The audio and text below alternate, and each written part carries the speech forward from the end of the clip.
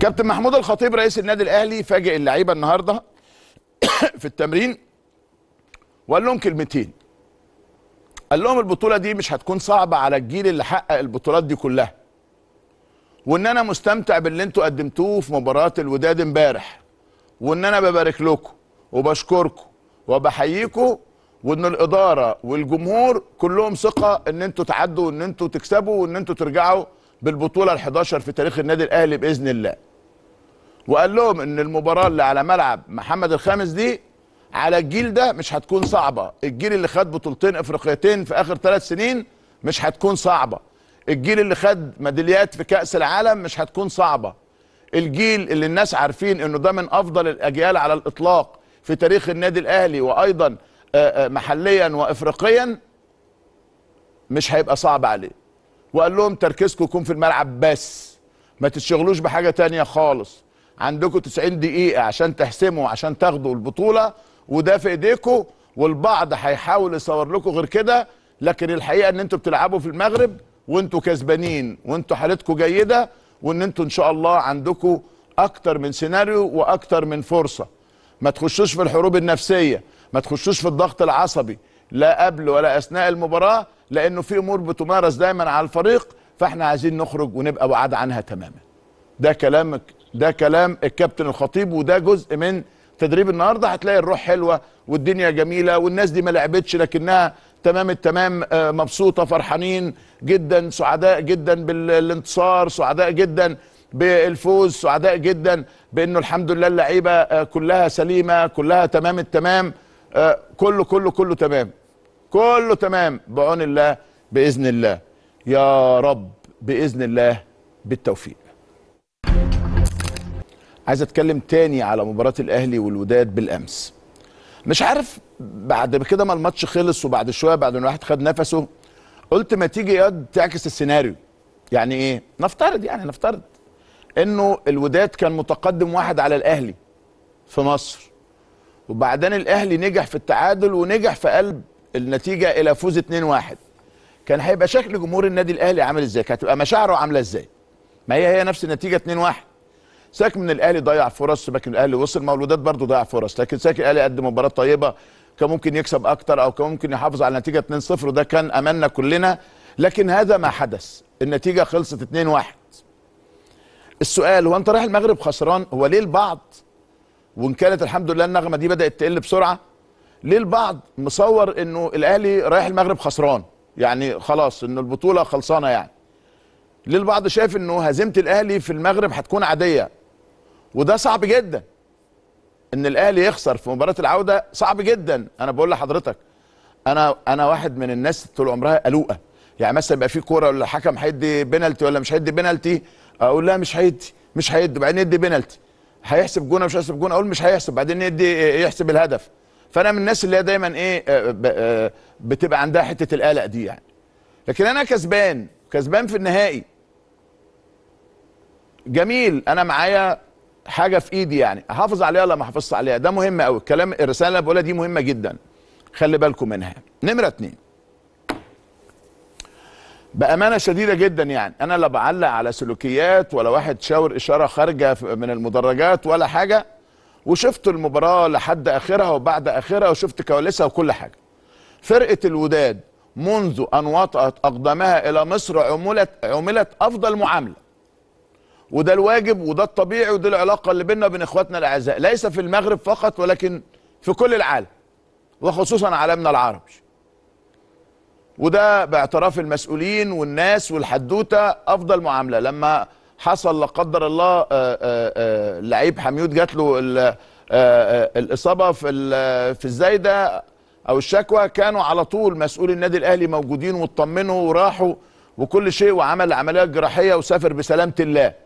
إلى آه، آه، بلده معزز مكرم وكل الناس دعت له بالسلامة بداية من مسؤول الأهلي من كولر من الناس كلها. يعني كل الاحترام والحب. أنا ما مش من النوع اللي بحب بقى إيه الكلمات الإنشائية والعلاقات التاريخية لأنه ده موضوع مش محتاج إن إحنا نقوله.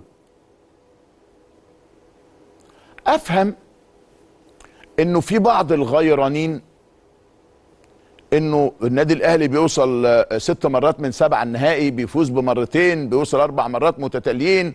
إنه قريب جدا يفوز بالبطولة بأمر الله سبحانه وتعالى. فيكونوا يعني آه، غضبانين ويحاولوا إن هم يوقعوا. موجودة في كل حتة يعني. صناع الفتنة موجودين في كل العالم وفي كل المجالات وخاصة مجالنا الرياضي. لكن لا أفهم إنه أي على فكرة أي سلوك خاطئ أنا برفضه تماما يعني. لكن لا أفهم إنه حاجة تافهة بسيطة خدتش ثانية. ولا ما خدتش 10 15 20 30 ثانية. دقيقة يا سيدي. لا في ضرب ولا في مش عارف إيه ولا في بتاع إيه. وأنت عارف أصلا اللي بيدخل الاستاد ما ينفعش يدخل غير بالازازه ال- البلاستيك يعني. يعني مفيش حاجة مؤذية ولا حاجة ولا محتاجة ولا يحزنون يعني. لكن البعض بقى عايز يعملها دوامة خدوا الدوامة بقى عندكم. بمنتهى الأمانة يعني. أنت حضرتك في البعض عايز يعملها دوامة خدها عندك أنت. الأهلي مركز قوي المرة دي. والأهلي لن يسمح بسيناريو البطولة السابقة. اللي أنا الحقيقة حصل خلاف بيني وبين بعض من مسؤولي النادي الأهلي على طريقة تناولهم في البداية. وانتقدت البيانات ال- الكتيرة اللي ملهاش لازمة اللي شتتت الجميع مجلس إدارة وجماهير ولاعبين. ودخلنا في الدوامة دي. وهقول لك كمان شوية في أخبار الحصرية إيه. النادي الأهلي مجلس إدارة ولاعبين مش فاضيين لقضايا جانبية. مش فاضيين يردوا على ال social media أصل مش عارف مين رمى إزازتين بلاستيك فاضيين. أصل حسين الشحات وهو طالع كان مش عارف إيه وهحكي لك قصة حسين. أصله مش عارف مين عمل إيه في المدرجات. مش فاضيين للكلام الفارغ ده. النادي الأهلي مركز فقط إنه يعود بالكأس من المغرب. ولو جماهير النادي الأهلي اللي بحييها في المدرجات امبارح بحييها بمعنى بحييها. اولا التذاكر خلصت في ثلاث ثواني. ثانيا تشجيع من قبل المباراة في وسط المباراة في آخر المباراة. مساندة غير عادية. لكن اللي أنا عايز أقوله لك إنه جماهير النادي الأهلي اللي كانت في المدرجات ودي دورها تمام انتهى إنه جماهير النادي الأهلي عبر ال social media وده دورها بدأ.